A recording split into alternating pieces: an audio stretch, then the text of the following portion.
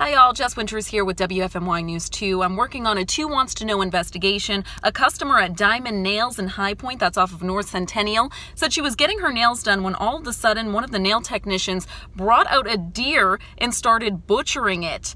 And I spoke with the store employees there. They said the owner was not in, but they did say that there is a cultural difference. They didn't want to comment any further than that. But I do want to note that they did not deny that this happened. We'll have more coming up on WFMY News 2 at 5:30, also 6.